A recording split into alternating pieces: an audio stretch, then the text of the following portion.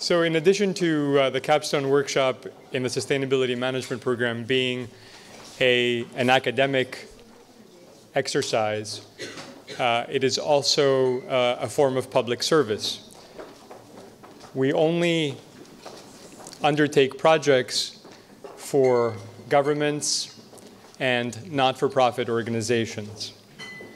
And so, as you look at the agenda tonight, you will notice that we uh, have been working this semester for uh, cities, city governments, and for one very large national environmental organization. Another distinguishing characteristic of the capstones is that they take place um, around the world. So uh, we just heard a project uh, in Los Angeles. You're about to hear a project uh, here in New York. We will hear about a national uh, project later in the program and another one in Colombia. So we're very proud uh, of the fact that we can make sense of problems in different places around the world, that we can overcome uh, language barriers and cultural bar barriers in a single semester and help our clients. This next uh, project is um, about climate change and buildings in New York City. Professor Kizzy Charles Guzman was the faculty advisor, and our presenter tonight is David Hugens. Please welcome him. Hello, and welcome to, I want to welcome you to the final briefing for the New York City uh, Consultancy Capstone Project. But first, I'd like to thank our advisor, Kizzy. Without her, none of this would have happened, so thank you from all of us. So we've been hard at work developing solutions for the Cool program to ensure that it continues to contribute to the city's sustainability goals. Over the next 10 minutes, we will review the project context, describe the methodology that we developed, explain our findings, present our recommendations, and quantify the expected sustainability impacts of those recommendations. As you can see in this diagram, dense urban areas such as New York City experience the urban heat island effect. This means that in urban cores, it sees higher temperatures than lower density areas that have more vegetation and fewer dark surfaces like roads and buildings. So NYC Cool Roofs is a program of the New York City Department of Small Business Services that provides workforce training to low-income New Yorkers and coats city uh, rooftops with white reflective coating. This increases the albedo or amount of solar reflectance of a rooftop, which in turn uh, reduces building uh, energy use and mitigates the urban heat island effect. Since its inception in 2009, Cool Roofs Initiative has coated over 6.7 million square feet of rooftop space, contributing to lower cooling costs for buildings and reducing an estimated 3,300 metric tons of carbon dioxide equivalent, which is the same as removing 697 passenger vehicles from the road in one year. By applying the white latex coating to rooftops, Cool Roofs provides a low-cost method to reduce the temperatures of urban neighborhoods during the hottest months of the year. This produces multiple benefits that are relevant to the city's sustainability goals. These include lowering the cooling needs of buildings, mitigating health risks for vulnerable populations, such as the elderly, reducing the city's greenhouse gas emissions, and providing job training for underemployed New Yorkers. Now, the city's 2014 greenhouse gas reduction plan, One City Built to Last, called for continuing the Cool Roofs program for the next 10 years. The program has also shifted its scope from a volunteer driven energy efficiency program to one that's more focused on social impact and community health.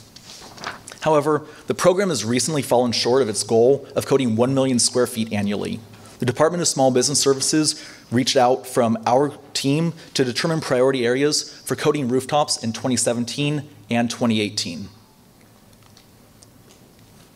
Our main deliverables to the client is a prioritized list of coatable rooftops that will allow NYC Cool Roofs to meet its goal of coating 1 million square feet per year for the next two years.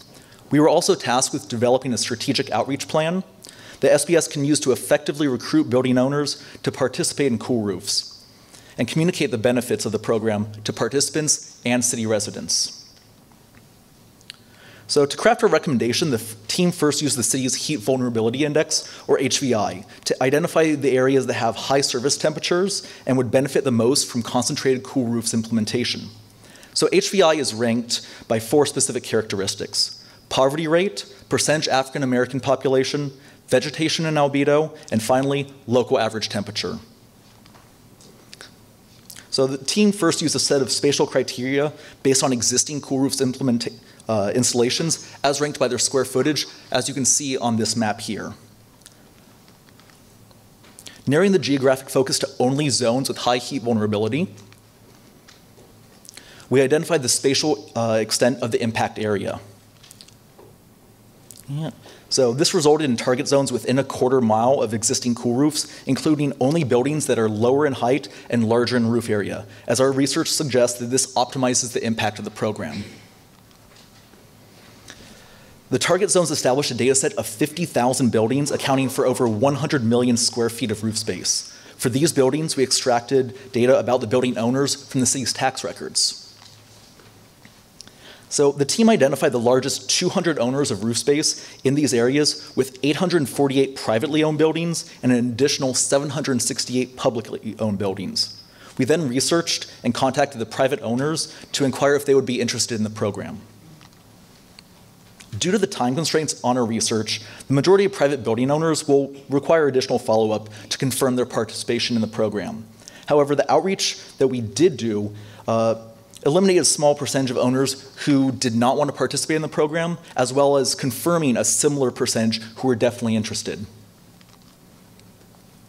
The team then Google mapped all the remaining buildings to perform a rough physical assessment using eligibility criteria provided by the client. We noted the roof color and eliminated, eliminated any roofs that wouldn't be suitable for the program.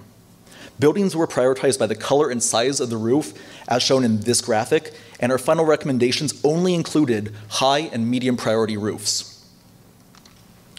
So this provided an effective way to take the initial square feet of 23 million, which was definitely an unrealistic outreach target for the client, down to a final result of 2.7 million, which was an impactful but achievable target for the next two years. The target included 40% public buildings, 38% private, nonprofit sector buildings, and 22% for profit sector buildings. So here's an illustration of what our process looks like on a neighborhood scale map of the Mount Eden area of the Bronx. First, we start with buildings within the target zone. We then eliminate all the buildings over six stories, eliminate all the rooftops that are under 10,000 square feet, and then eliminate the high albedo rooftops or rooftops with already high reflectance, like white rooftops. So this gives us all of our potential cool roofs identified within the area. So you might be thinking that this surely isn't enough rooftops. However, a small team implements this program. So this is a bold yet achievable goal for the client. And as the project continues, the methodology that we've developed uh, can be used again and again to continue the spread of cool roofs installations throughout the lifetime of the project, which is the next 10 years. So following the research and outreach done by our team, we crafted two listings of priority buildings and owner relationships uh, for SBS to pursue over the next two years as, as identified on this map. I know it's a little dim, so bear with us.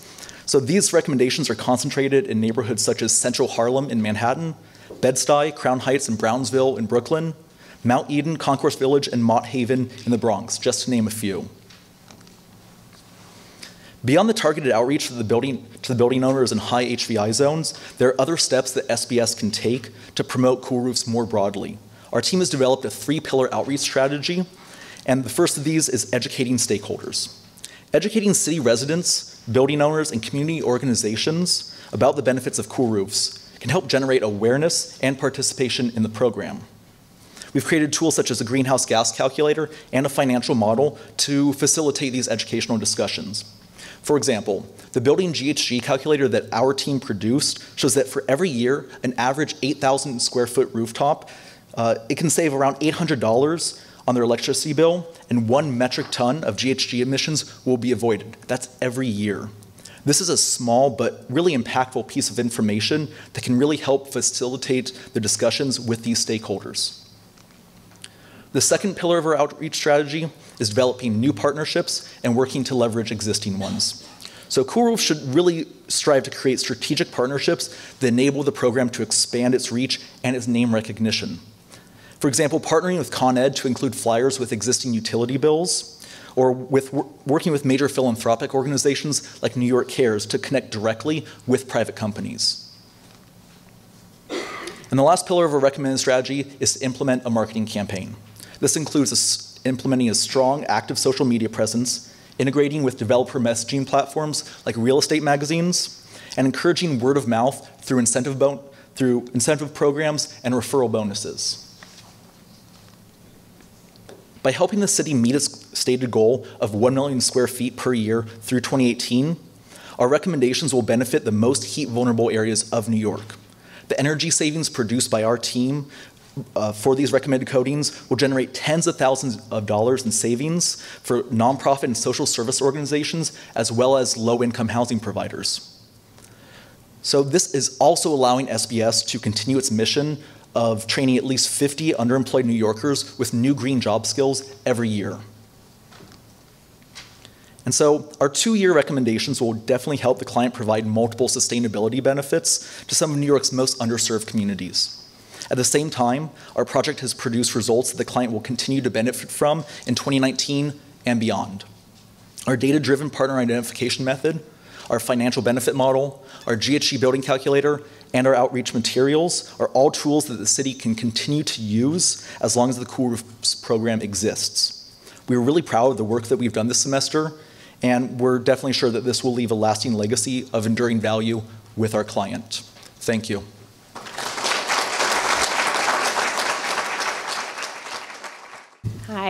Um, I was curious about the decision to only look at the parts of the city that were the highest on the scale of HVI and mm-hmm. whether or not that was client driven um, or a decision that the team made and, and why, since it's a six point, you know, a, a six point scale. Mm-hmm. So the, the focus on only the high HVI zones show the areas that we can actually have the most impact. So by focusing just on these areas, it really is grabbing the low-hanging fruit. However, the methodology that we're developing allows for a continuation of that HVI to be revamped over time. And so as those HVI scores actually go go down, then we're able to reapply this methodology, or Cool Roofs is able to reapply this methodology to then spread this. So definitely our focus in those HVI zones that are ranked five were something that allowed us to really concentrate our efforts because concentration of cool roofs really is shown to be more effective than the wide dispersal that had previously been done. Other questions? Uh, it seems like outreach is one of the major obstacles in to uh, people with roofs as one of the major obstacles to what you encountered during this project. Um, how did you go about uh, contacting all the building owners, and what plans would you recommend for follow-up? So I'm really glad you asked that because we did spend actually quite a bit of team time doing this. So after taking all of that information from the city's tax records through our GIS model, we then actually used services like Zola and LavaMap, which are publicly available tax tools to identify the owners of each of these buildings. We then, through the magic of Google, we were able to find their contact information. We, each member of the team develop, helped to develop a script that we then reached out individually to each I believe it was at the end of our focus 175 individual building owners in the private sector, and we called them and tried to have these conversations. Unfortunately, not everyone likes being cold called, but we were able to really generate some significant interest. And even if people didn't say that they were absolutely interested and wanted a cool roof on their building, they did want more information. So that's really promising to us, and we are providing both the script as well as our methodology for getting those numbers and getting those contacts to the city. And the people who we've already contacted, th those contacts and that information that we were able to get from them will be part of our deliverables as well. Time for one final question. Okay, thank you very much, David.